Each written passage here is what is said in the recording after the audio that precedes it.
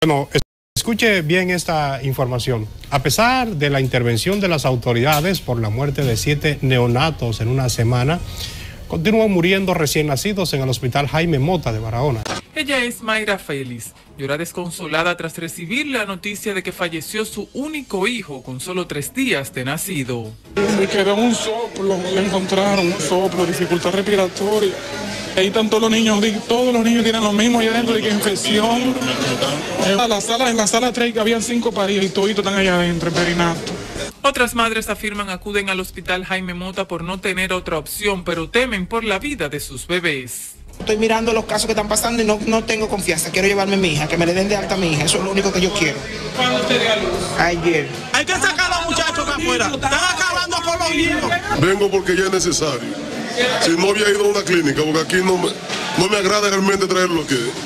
Pacientes denuncian que además de bacterias, en este hospital regional hace falta médicos especialistas, equipamiento, higiene y la conclusión de los trabajos de reconstrucción. Según tiene un dolorcito hay que picar para la capital porque nadie puede ponerle un aparato aquí porque nadie tiene nada.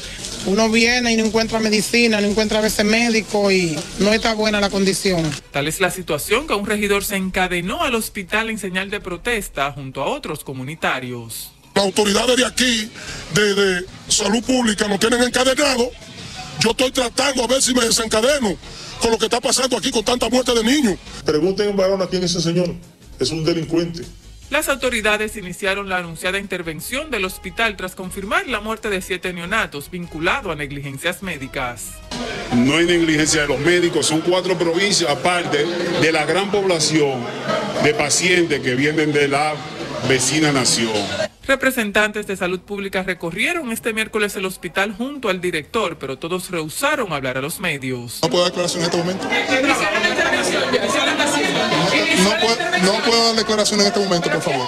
La situación del Jaime Mota agrava porque aquí son referidos los pacientes de casi toda la región. En Neiva, por ejemplo, el hospital fue completamente demolido para reconstrucción. Se está demoliendo porque estamos dando buenos servicios ahí en Neiva, en el centro diagnóstico y en Galván. Mientras en Jimaní, el hospital inaugurado hace más de un año, permanece en excelentes condiciones y afirman totalmente equipado. Sin embargo, pacientes y enfermeras se quejan por la falta de personal. No hay suficiente, hacen faltas enfermeras y médicos también. Demandamos de personal, eso sí.